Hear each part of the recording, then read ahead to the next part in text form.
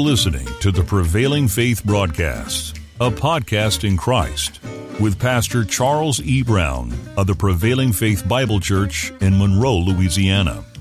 Now, here's your host, Pastor Brown.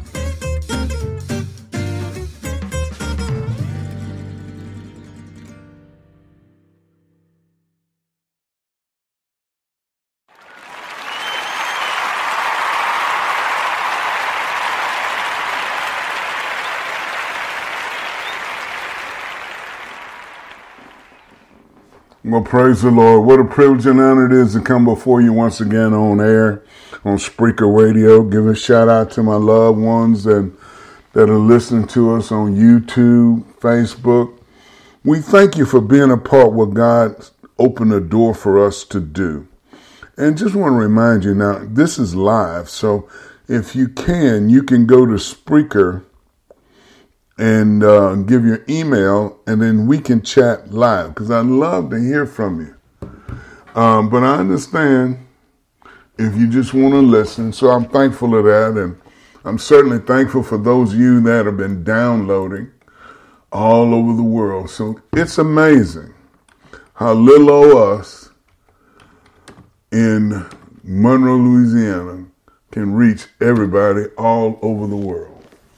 As you know, I'm from Prevailing Faith Bible Church right here at 1111 Plaza Boulevard in Monroe, Louisiana, 71201. Yes, once again, it's your host, Pastor Charles E. Brown. Let's invite God the Father into this program because I need I need to hear from him and so do you. So Father, what an honor and a privilege it is to open up our spirit, soul, and body to you. To be reminded that everything starts with you.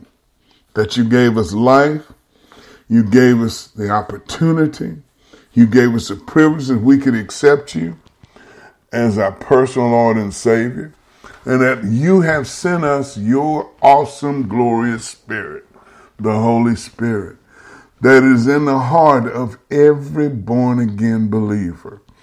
And that strength and that power is an access to us so, Father, we just come and yield our heart and our soul to you, that we might be obedient to you, that we would trust the leadership of your powerful word and your spirit as we welcome you into this session, because we remember the lips of the righteous will feed many. So, Father, by faith in the name of Jesus, I turn over these lips of clay to you that you would have your way, that I would say exactly what you have me to say, that it'll drive men and women to you, that the hearts of men will be open to receive the word and the spirit of God. In the glorious, majestic, awesome name of Jesus Christ of Nazareth, we say amen, amen, amen, amen. Well, if you can see the title of today's intimacy session, yes, I'm, I'm still talking about intimacy because intimacy is a peculiar word in that it represents a close, familiar, or uh, personal relationship which you can have with God, you can have with uh, others, uh, your parents, your siblings, your neighbor. You can have a very intimate relationship. But we're working on the part of that word that applies to a husband and wife. And for a husband and wife, not only are you close spirit, soul, but you can join your bodies together in having a Holy Ghost filled sexual relationship because you're married under the unction of God. And so, what I'm attempting to do, I'm coming from a place of uh, appreciation, really, because I truly appreciate the fact that God came in and saved my marriage. Because I was immature when I got married, because that's what tickles me. Is that people get married, they do all kind of stuff, preparing for the wedding, and which you should. I, I, I, I like I said, I, uh, I was, I was, I was, I got to officiate a beautiful wedding. I got to attend a beautiful wedding, but you got to plan for the marriage, not just the wedding. Plan for the marriage. Why? Because you're going to have to learn how to work on it spiritually. You have to learn how to work on it mentally. And you're definitely going to have to learn how to work it physically. And because the reason I'm telling you all this or reminding you all this is because God has a plan. He knows what He's doing. We don't. and so we go jump off into marriage and we say, man, this water is deep. I did not know. And then you start trying to tread and trying to stay afloat and you realize, help. Lord, help me, Lord, help me, Lord. But what I'm so thankful for, He will help you. Because if you remember this simple fact, God is the creator of marriage. God is the only one that knows how to make a marriage work. And if you have issues or troubles in your marriage, learn how to go to God because He will give you supernatural inside information. So you'll know how to prosper in your marriage. You know how to grow in your relationship. You can walk as the kings and queens of God that God called you to be. But if you turn to Song of Solomon, chapter 2, verse 15, you'll see where I got this message from. The little things. Because one of the key things you got to learn to remember is very important with the little things you do in the marriage. Because sometimes it's the little things that can just take you off course. You can be on a train track going uh, a thousand miles, but then somebody or something wear and tear, whatever, the track becomes offset. And the train's been going for thousands of miles, and when it gets to its destination, it hits a broken part of the track because you got to pay attention to the little things. And that's what this scripture reminds me of Song of Solomon, chapter 2, verse 15, King James Version. Take us the foxes, the little foxes that spoil the vines, for our vines have tender grapes. In other words, you're depending on the harvest you get from a, a grape orchard. And at the times when the grapes are just coming out, the little foxes come and destroy your crop. Now you worked real hard because I, have had a chance to visit uh, uh, wineries or vintage. vintage uh, uh, I've been to California several times, and I've been in the in the um, in the Bay Area, and right outside of the Bay Area is where they have a lot of orchards, and um, you see these these fields or acres of vineyards out there. And it takes a lot of work to care for them, to properly sustain them. And you don't want to lose your crop just when it's about time to harvest, because that's what the little foxes will do. It will steal from the harvest before the, the grapes are ready for you to pull them. And the complete English version says it like this Catch foxes for us, those little foxes that spoil vineyards, vineyards, now that our vineyards are in bloom. You've got to pay attention in marriage. You got to be able to watch what you say to each other. You got to take in consideration that what you're saying, it will either increase or hinder the relationship. So you got to be very careful as to how you approach each other. Because remember, if God thinks so much of your word, he told Daniel in Daniel 10 and 12, he says, The Lord says, I come for your words. He says, I come for them for the first day. In other words, your words can help your marriage or your words can destroy your marriage. So you have to make a decision. I am going to make sure that I say things that's going to bring about the blessings, to bring about encouragement, to open up the door that the light of the gospel of the living God will come into my marriage because I want it to work. I didn't go through all this ceremony. I didn't go through uh, giving up my name or giving up my living quarters or we laugh because um, when we got married, over 40 years ago, and we went on the honeymoon. We come back, the little apartment that we had picked was damaged, a storm or something. I don't remember what it was. And um, they didn't have an apartment she liked, so it gave her time to say, well, look, I want one in the front. So I said, hey, look, I'm just glad you married me, so I'm just along for the ride. And so, so we stayed with my mother for about almost two months. But I'm so glad when I left my mama's house and moved my wife into our own place where we can kick and scream, holler and roll and tumble and do whatever we wanted to do because it was our place.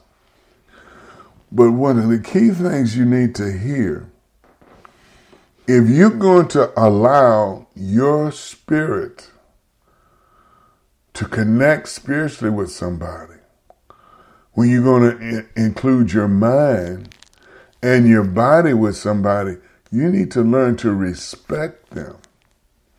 You need to be careful what you say and how you treat them because you want God to grow your marriage. And one of the most significant places that you that can just a, you could say just the little things. Um, you could say something about his mother, and he's real sensitive about it. Or you can say something about, oh, thank you, Lord. you knew when he asked you to marry you that he had a past. And that past included other children or even an ex-wife or whatever, but you decided to accept his his invitation to marriage. Well, when you accepted that invitation, you also were willing to accept his children and accept the relationship that he has with his ex. I'm talking about a respectful relationship because um, I know I know uh, a young lady, and uh, you know she introduced me to her father and her mother, but she later told me that they're both married to different people. I don't know why they split up, but they did. Her parents split up and they married other people. And this is how well they get along. They love their daughter so much that they even became friends with each other's spouses. Now I tell you what, that's that's heavy. and my wife left me, if she lived through it, no, I'm just kidding. I'm not gonna hurt my wife. If she left me, I'd find it hard to be happy to see her with Pedro, with Pedro or uh, uh, Sibbity Sam. But they have learned to mature that, hey, our marriage didn't work. We love our daughter and we're going to love her and we're going to, Now, her, the daughter's an adult now, but they get along fabulously. They even go on trips together. I'm like, oh my God. I tell you what, they took that thing a whole dimension about releasing and forgiving others. Oh my gracious, precious God. Look at my dear friend in the Lord, Pastor Dennis Stephen Hamilton. Good evening to you, my brother, all the way in beautiful Santa Barbara, California. He says in Acts chapter 5, now remember the reason, I'm believing God to point this out to you, because if you would get a better understanding of this, this will help you. I mean, go to Acts chapter 1.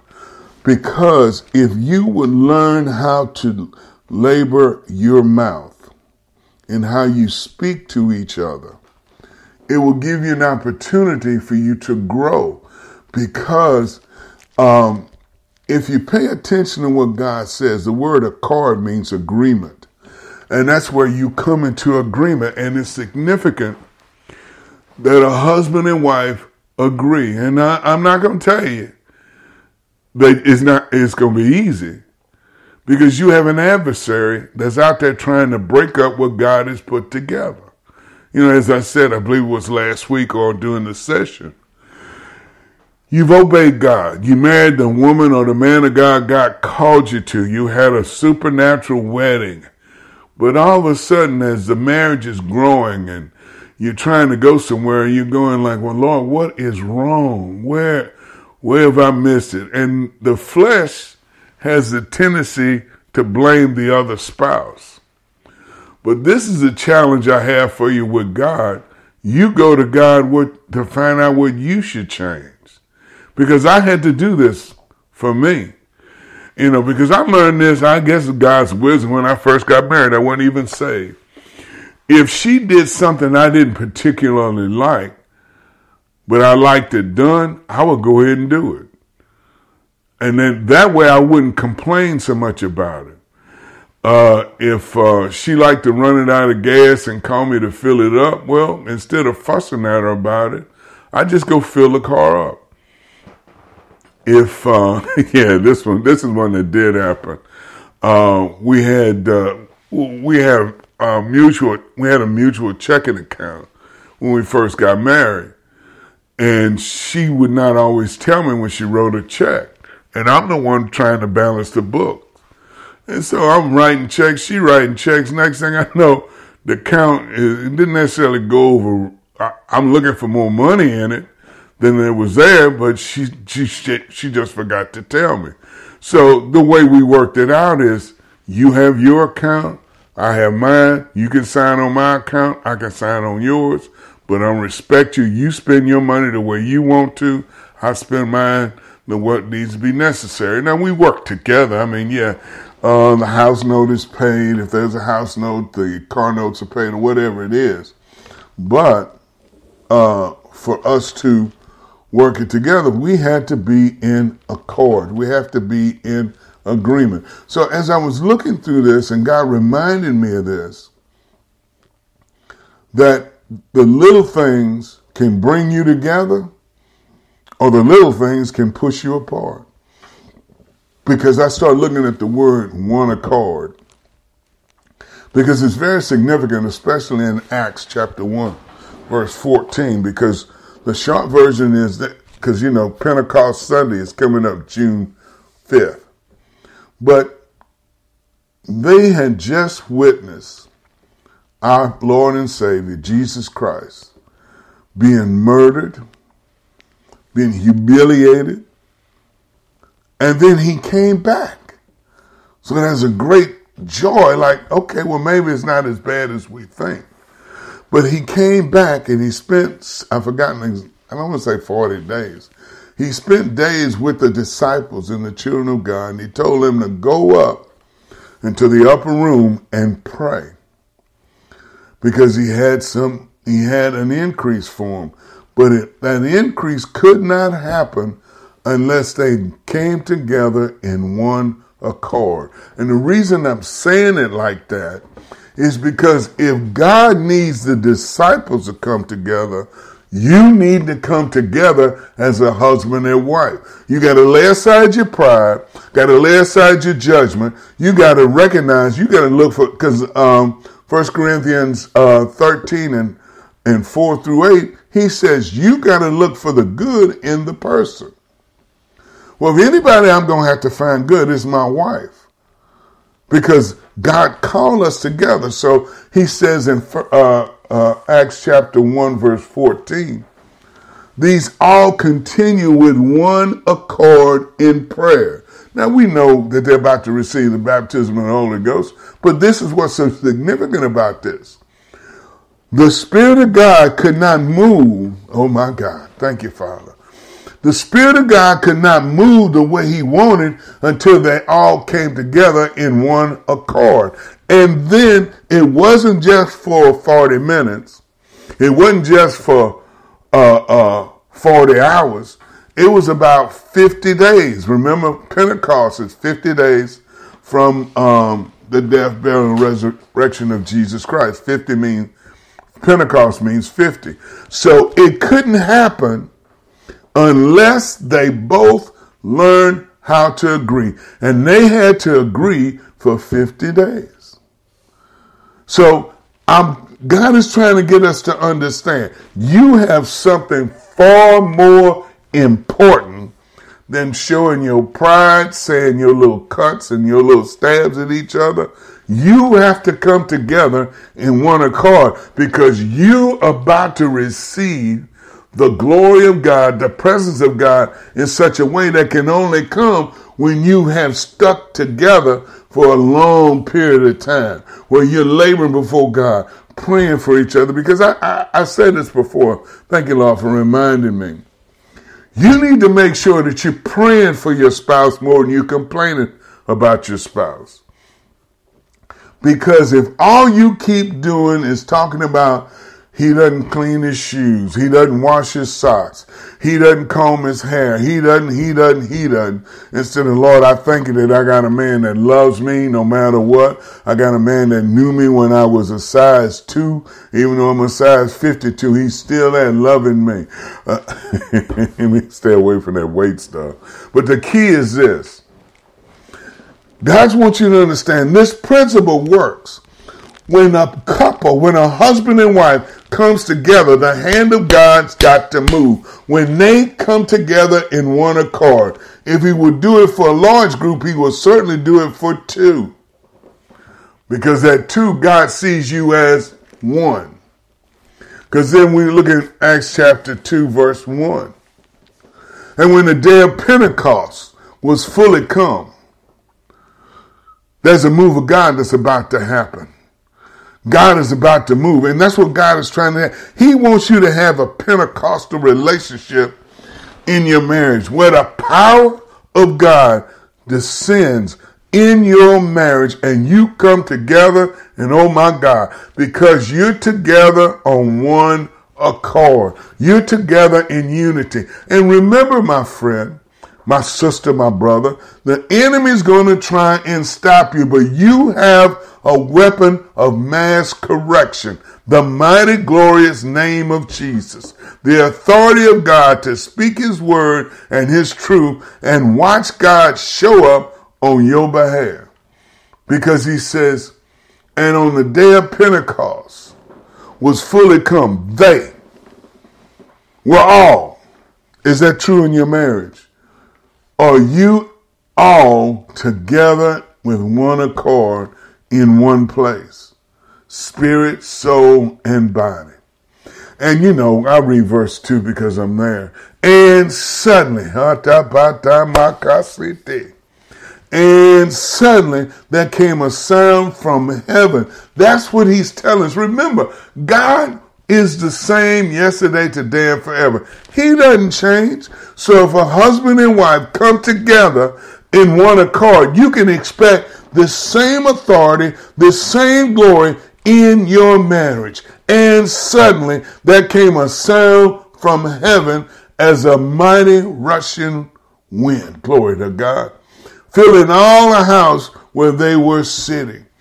He's telling you that same fire, that same gifting, that same authority that operated on the day of Pentecost can happen in your marriage because you are in one accord with God the Father, God the Son, God the Holy Spirit. Because First John says, God the Father, the Son, and the Holy Spirit, they always agree.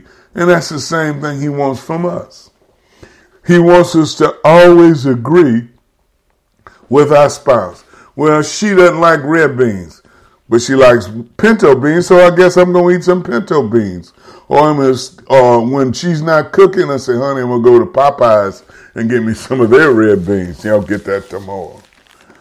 But he says, and suddenly there was a sound from heaven as a mighty rushing wind, and it filled the house. Lord, glory to God. Fill my house with your Holy Ghost presence. That's why I'm going to get along with my wife. I'm going to bite my tongue telling my tongue, say, Thus saith the Lord. And it says, And it filled all the house where they were sitting. And listen, I, am going to go ahead and say verse 3 too. And their appearance unto them was cloven tongues like as of fire, and it set upon each of them. Don't you want this in your house? I know I do. Don't you want the Holy Spirit in your house?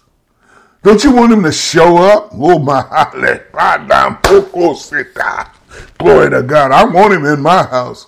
And look, look, look what he says. And they were all filled. Are you and your husband? Are y'all all filled with the Holy Ghost?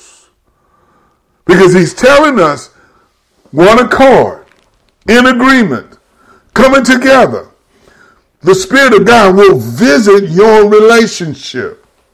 And he says, and they spake with tongues as the Spirit gave them utterance. I need, I desire, I hunger for the Holy Spirit to be between my wife and I in us together. That's what he's telling us in one accord. But be careful. I don't know if you've ever prayed in tongues or if you've ever flown in the flown in the spirit because God in 1 Corinthians 12 he talks about nine gifts that are available for the body of Christ. But what I'm trying to get you to hear is that when God will give you a in, inside information, you have to quiet yourself. You have to quiet your thoughts. Because if not, oh, I see you, uh, the overseer. Happy belated birthday, my brother. God bless you. You're looking great for a fellow. You must be in your 20s. Um, as I, oh, I'm sorry, I'm seeing things that are not there. I'm seeing Pastor Jackie. His name is not there. Well, I must be thinking of you, Pastor, I mean, Overseer Jackie. God bless you. But he says, he says, and they were all filled with the Holy Ghost and began to speak with other tongues as the Holy Spirit gave them utterances. He wants to do that in your marriage. And this is what I like about it, because if you drop down to verse 26 in Acts 2, I, I like what he says, and they, come on, brother, come on, sister. You have to you're gonna have to quit talking about what's wrong and talk about what's right. Well, what's right in my marriage? God's living in it. God called us. God forgave us. God filled us with His Spirit. God is moving on our behalf. Well, I could go on and on. God called us to be one. God called us to us to be one that He can come in and invade our marriage. They can come in and take over our marriage. He can come in and ensure make sure that we flow like a mighty, glorious, magnificent river. Now look what he says in verse 46. And they continue daily. That's what I want my marriage. I want us to continue daily being together in the Holy Spirit, being on one accord. They continued daily with one accord in the temple, verse 46, breaking bread from the house to house, and did eat their meat with gladness and singleness of heart. I like that. I like that the fact that we are getting along together. Because I know what it's like to argue over nothing. I, I know what it's like to to argue over nothing at all because you did not take the time to invite God in or let God have his way. And I just want God to use what he promised me. I want him to flow through me like a mighty river. I want him to have his way in my marriage. Because look what he says in Acts chapter 4, verse 24.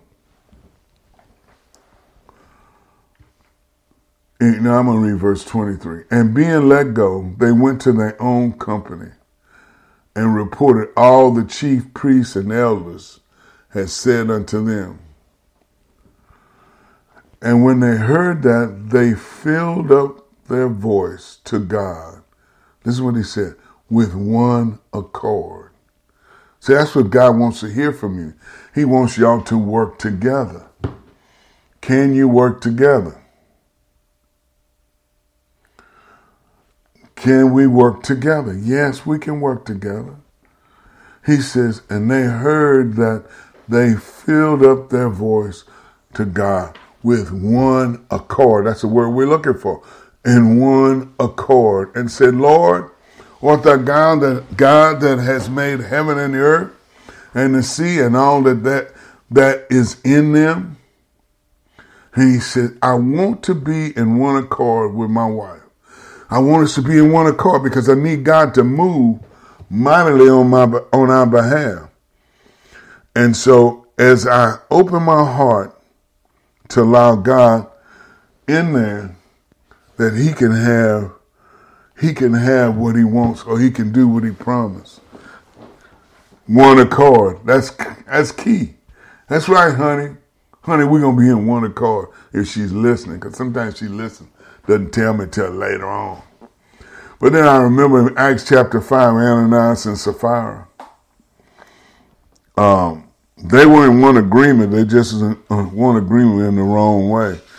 The short version is um, Ananias lied about selling. Uh, I'm sorry, he sold the property, which was his right to do or not do. But he lied about giving the money to the church. He didn't have to lie. All he do is say, Look, I sold it. I'm to give my tithes, but I'm to keep the profit. And then his wife, uh, Sapphira, came right behind him, and uh, the uh, prophet asked her, "Did she agree with what he did?" And she said, "Yeah." And she, they both died instantly. But what drew me to this scripture was what what happened in verse twelve after they buried them. After they said a great fear came over them. But listen what they said. This is what I'm looking for. Because if you get this, you'll see what God's wanting to say about a husband and wife. Acts 5 and 12. In the hands of the apostles were many signs and wonders. I want signs and wonders. Wrought or worked among the people. Why? And they were all with one accord in Solomon's porch. Do you get what I'm saying? Because they were in agreement with the Word of God, the Spirit of God, and they were in agreement with to each other, God could work signs and wonders through them. He doesn't change. God doesn't change. You got to look to see what he's saying. If you would swallow your pride and get along with each other because you married each other, that's why um, next month it'll be 43 years. And when we would do marriage encounters, we would have people bring their um, uh, wedding pictures. Why?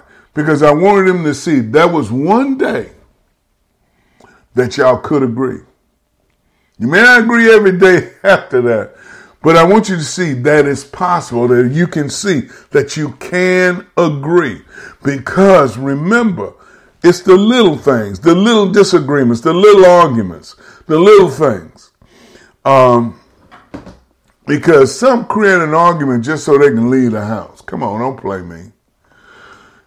Oh, you go storming out the door because you really want to go to the sports bar and watch the game. You don't want to be bothered. You want to watch with a bunch of people that care about. It. But you got to be careful. It's the little things.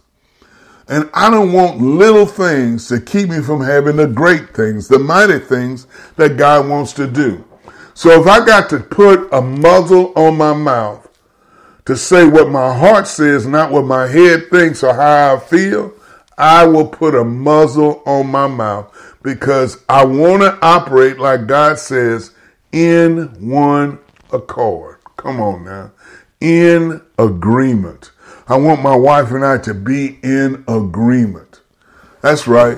One accord where we are joined together in holy matrimony, agreeing and receiving the mighty wisdom and the glory of God that God's showing up in our lives because we are in one accord. The spirit of signs and wonders will flow in our marriage because we are in one accord.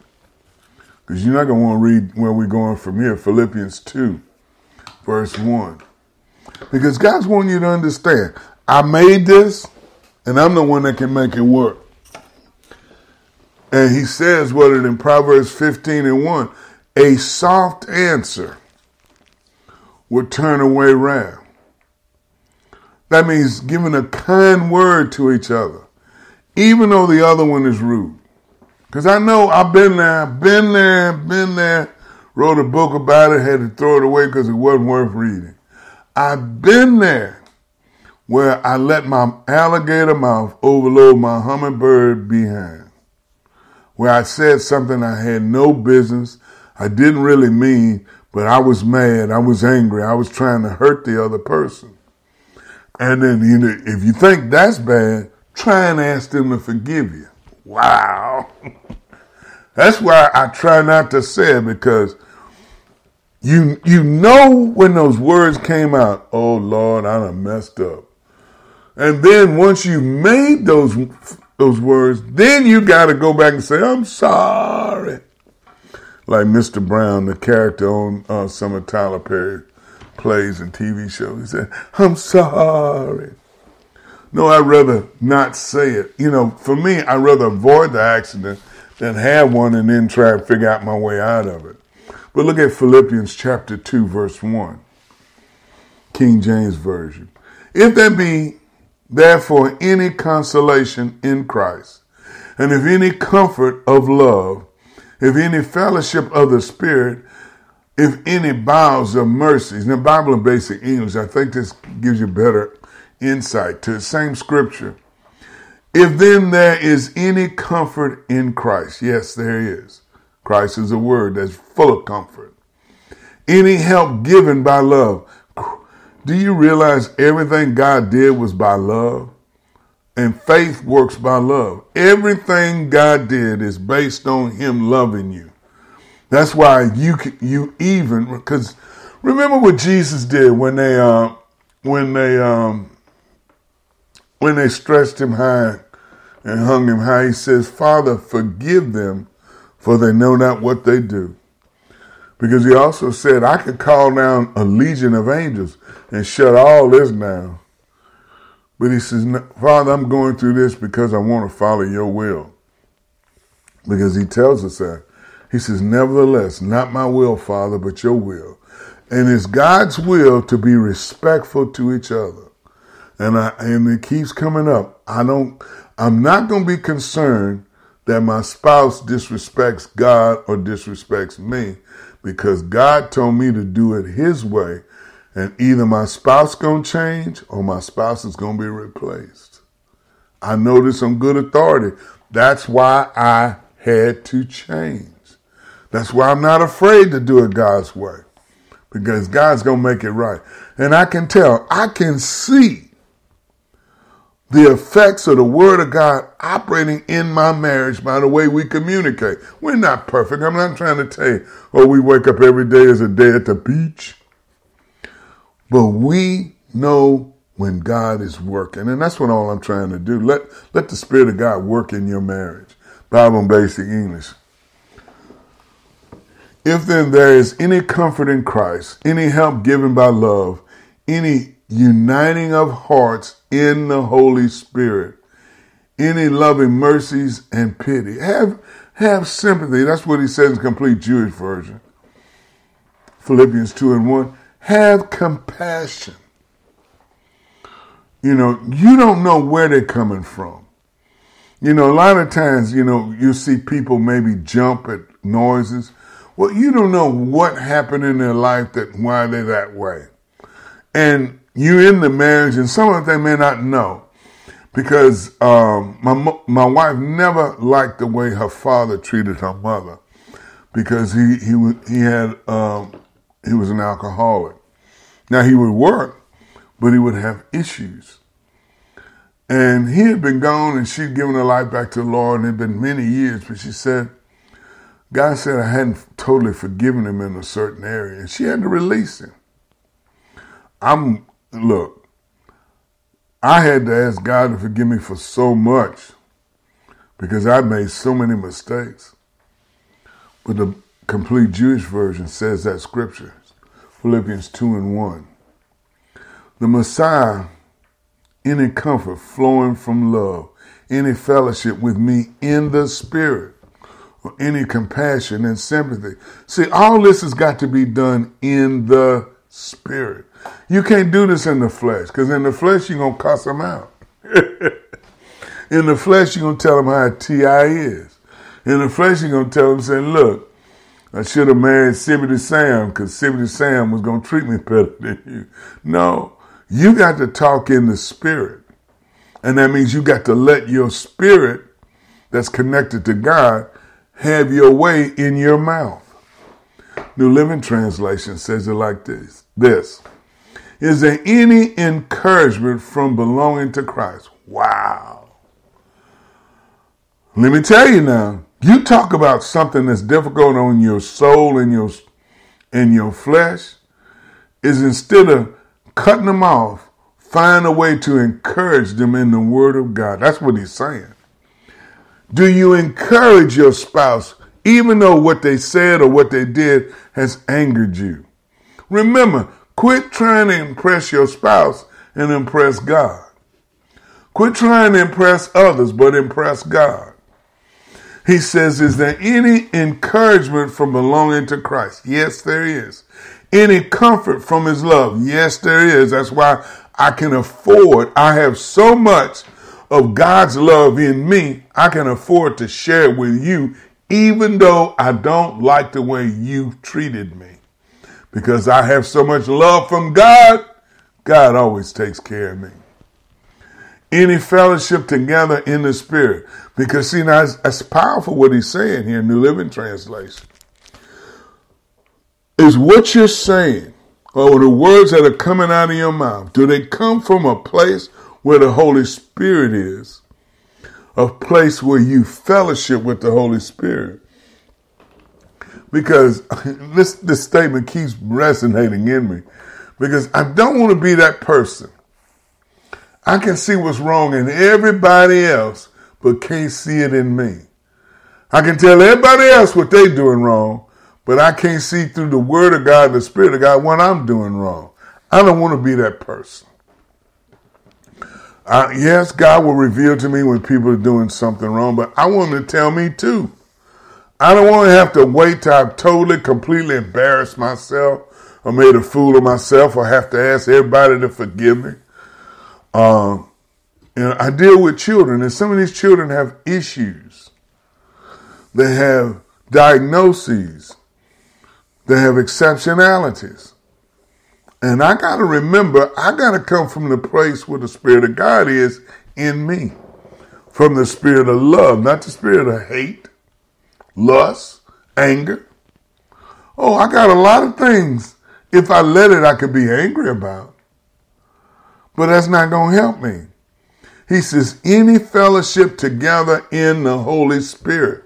Because when you come about where the Holy Spirit is, you coming from a whole nother dimension. You coming from the kingdom of Almighty God. And you can't think this, you can't feel it. You got to say it from your heart. Are your hearts tender and compassionate? Wow. You ever been around somebody when they speak? I have a coarse voice. But when they speaking to you, they speaking to you with such a love and a compassion towards you. You know, I know that's why a lot of people are drawn to my wife because when my wife speaks, you can hear the compassion in her voice. And you can hear how she'll sit there with you and try and help you understand how to thus follow the Lord. But me, I have to work on that. Why is that? Because if I'm telling you the truth, and you know, I'm like, Lord, am I saying it correctly? Am I misrepresenting the scriptures or something? Because I'm telling you the solution because the Bible is answers. But the problem is you can't make the people do it.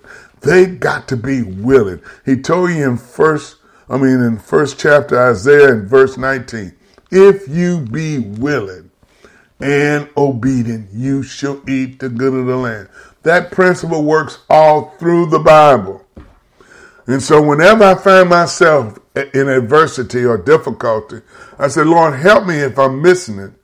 But if I'm following you, show me, uh, give me the guidance that I'll stay the course. Verse 2. Philippians 2 and 2. Fulfill ye my joy that ye may be like minded. Yes, Lord, my wife and I need to be in agreement, spirit, soul, and body. Woo, Lord, you talk about a problem if you and your wife are in different headspace. Oh my God. She trying to go left, you trying to go right. You trying to sit down, she standing up. No, God, we got to find like minded. I, I mentioned this before. I'm not really that, you know, I, I would like space age, modern day furniture if I had to pick it. But my wife is more of a traditional furniture. Well, it doesn't mean that much to me. If it makes her happy, it makes me ecstatic. So I'm not going to sit there and go into uh, uh, Ethan Allen's or uh, uh Thomas Thomasville place and tell her what to buy. I'm gonna let her use her taste because I'm fine with it because I'm gonna like it as long as it's comfortable. It looks good. I'm happy. Bible and Basic English, verse two. Make my joy complete by being of the same mind. Yes, Lord, I thank you, Lord God, that we can find a place that we can agree. Having the same love, my God. Being in harmony of one mind. Lord, I thank you that my wife and I are complete of the same mind, having the same love, being in harmony and of one mind. Because we're in this together. We need God to move. We are in this in one accord. Complete Jewish version says that scripture, Philippians 2 and 2. Complete my joy by having a common purpose and a common love, by being one in heart and in mind. Lord, I thank you that we are united together. Oh, you love the message translation, verse 2 then do me a favor, agree with each other, love each other, be deep spirited. Uh, it says friends, but we talking about spouses. That we're deeply committed to the things of God. That I honor her and she honors me.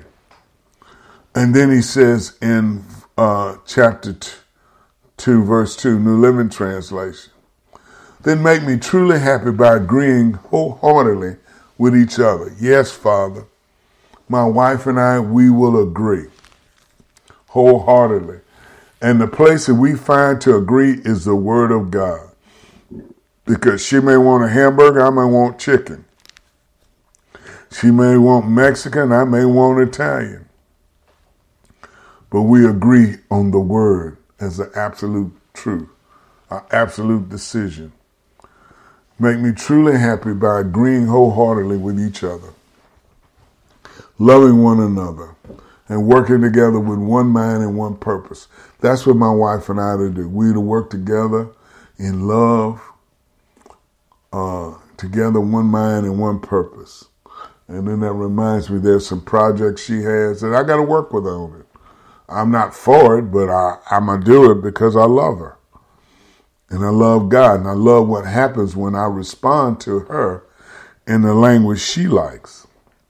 I mean, I'd be interested in, in uh, uh, in Louisiana, you had to cut a lot of grass. I mean, we got grass growing everywhere, in the streets, everywhere. If you, uh, and uh, so you had to cut the lawn a lot.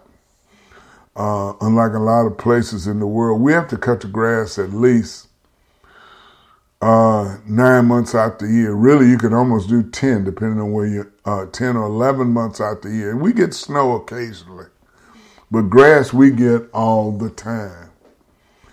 And um, I remember when I first, uh, when I used to, uh, first got my first riding lawnmower. And that's around the times the weed whackers came out. I had it all. I had a hedger and all like that and I would hedge and weed whack first, and then I would I would use the uh, riding lawnmower. Well, that was the fun part. Well, she came outside wanting to drive the lawnmower. I said, well, look, if you're not going to weed eat, you're not to edge. Don't come out here for the fun part on the riding lawnmower. So she showed me she quit doing it. dumb, dumb, dumb. Pray for me. Well, I thank God we in another situation. We got we got some people that come out and take care of that for us. Verse 4 Look not every man on his own things, but every man also in the things of others. In other words, be mindful of them. And that's what he's saying in verse 5. Let us, let this mind be in you, which is also in Christ Jesus. Is that your truth? Are you always trying to, oh, I know petty people like that. All right, you ate two peanuts, I want two peanuts. You ate five popcorns, I want five popcorns. Oh no, don't you take no, I want to make her happy. So if it takes giving her ten popcorns, let her have it. I'll eat the one or I'll go eat peanuts. I want her happy. I get joy out of making my spouse happy.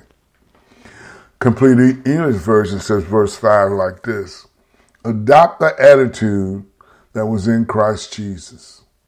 In other words, take on the same persona I love you. I forgive you. I'm here for you. I want to be there for you. I want to put myself in a position that I can do exactly what you need done so we can be who we want to be. You know, I, I don't think I read this one. Going back to verse 3. Don't be selfish. This New Living Translation. Don't try to impress others. Be humble, thinking of others as the better than yourselves. In other words, it's okay to be humble. It's okay to swallow your pride. It's okay to put yourself in agreement with what God is doing. Remember these foundational scriptures. We use that to base our prayer that we pray. We uh, each Tuesday at high noon we have high noon prayer, and we base that on Matthew 18, uh, verse 19. He says, "Again I tell you, I say unto you, that if any two, the greatest two to be together is a husband and wife, shall agree on earth. Remember, we're working on it's the little things. It's the little foxes. Get rid of the little foxes. Come together in one accord. Why? So you can have the power and the glory of God operating in your marriage. That's what you want, isn't it? Excuse me that if the two of you shall agree on earth as touching anything that they shall ask, it shall be done for them of my Father which is in heaven. I want God to give me what I ask for. Amen. If I got to give him my time and pray, I want, I want results.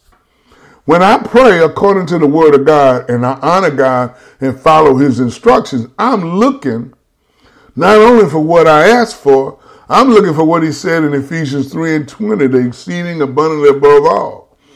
And I can clearly say he has done that in my marriage.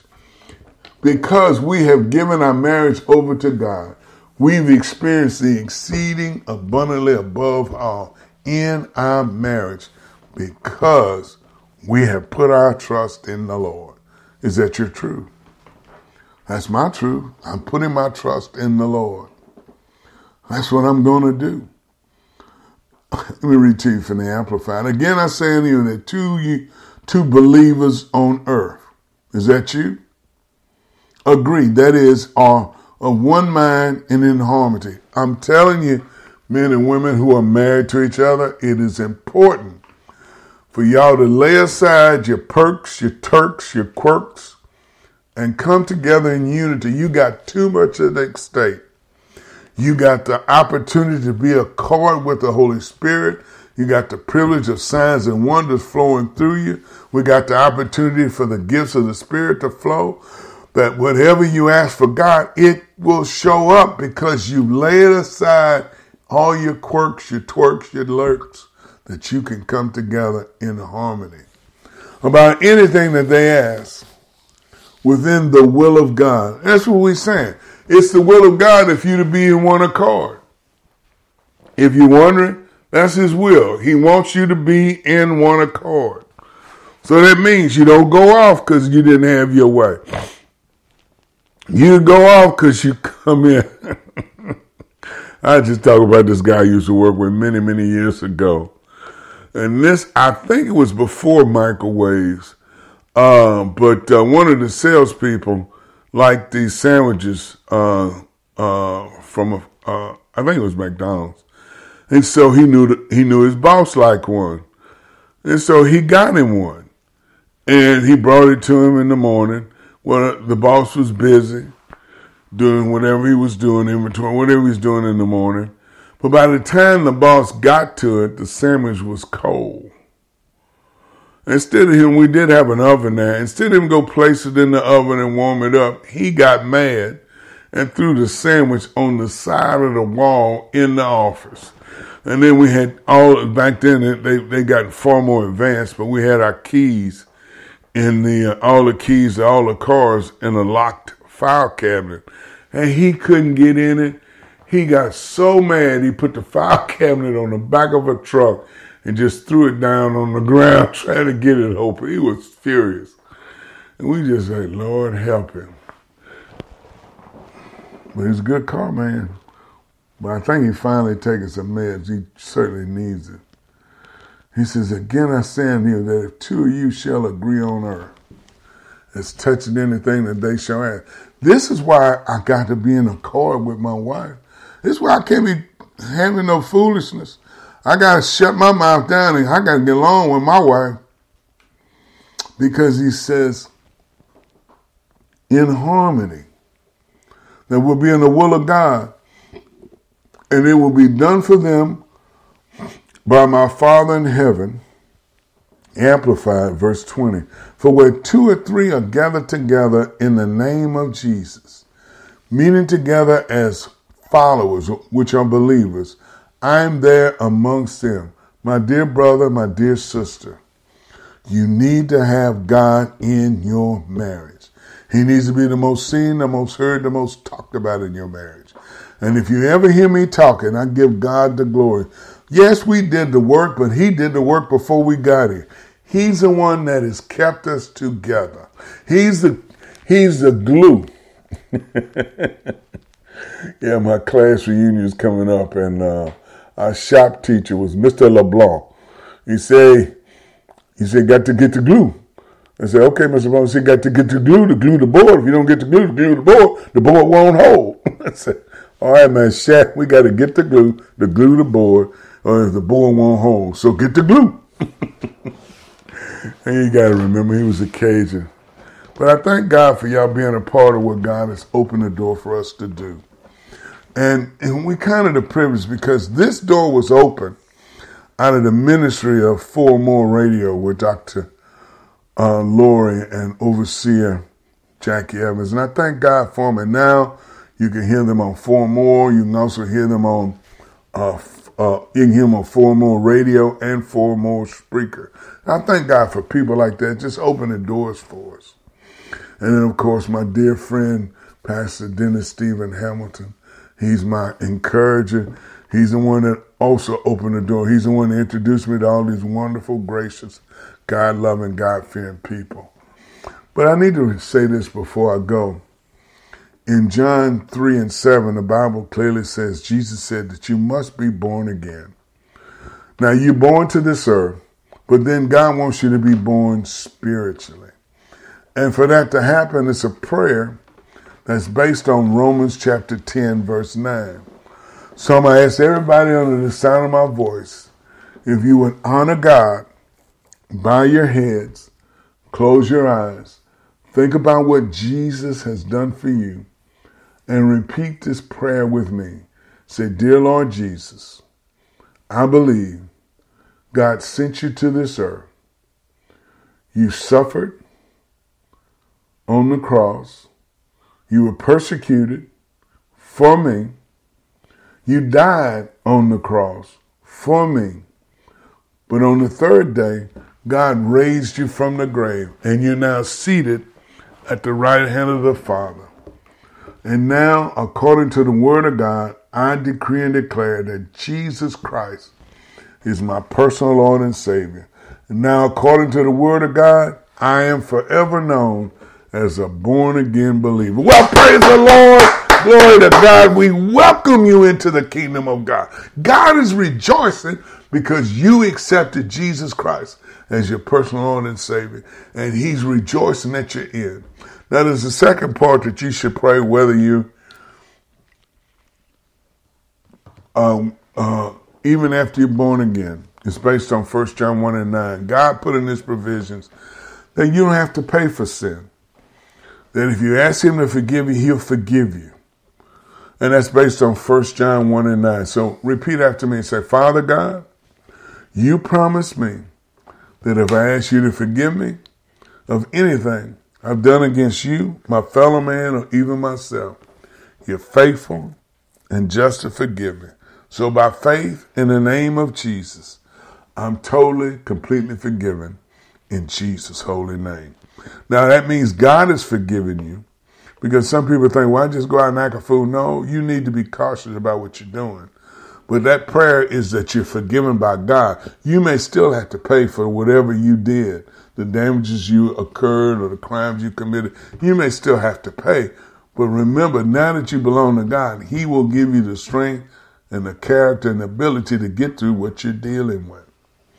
And then now, if you are part, not part of a local church, you need to ask God, I need to be a part of a local church. I need you to help me find a place that loves you, loves your word, will teach me the word, teach me how to love you so I can grow up to be the man or woman of God you call me to be. And I promise you, God will do it. Now I'm going to ask you a favor. If you just gave your life to the Lord, you can inbox me on Facebook. You can email me at pastor at prevailingministries.com. You can also call our prayer line at 318 215 6399. I also want to put this out there for you. If you're having thoughts of hurting yourself or hurting innocent people, I'm going to invite you to call the Suicide Watch line. They got some highly decorated, highly trained people to help you talk you, talk you and guide you the way you can get some help the way you don't hurt yourself or hurt other than innocent people. And that number is 800 273 8255. Well, I certainly appreciate your time. What a privilege and honor to be able to share the gospel of the living God. And I thank you, uh, Pastor Dennis Stephen Hamilton, for telling me to preach the word, brother. I appreciate that. Now, you can find us all over Facebook under Prevailing Faith Ministries. You can find us under YouTube under Prevailing Faith Ministries. We're on 24 7 there. And also, we have a high noon prayer every Tuesday, Central Standard Time, where we pray for the needs of the community. You can watch that on Facebook and YouTube. And then we have Wednesday Night Live at uh, 7 p.m. Wednesday nights. You can watch that on YouTube and face, Facebook. And you can also get our Sunday morning service. So we're trying to get the word out. Oh, I'm sorry. I should forgive me. We're also featured on Four Moon Radio. Praise the Lord. And Holy Spirit Broadcast Network. So we got these vehicles and these avenues open up to us, and we're just trying to share the good news of our Lord and Savior Jesus Christ. Well, God bless you. We pray this has been a blessing to you, and we'll be back on air next Monday night at 6 p.m. Central Standard Time. Remember what the word says walk by faith, not by sight.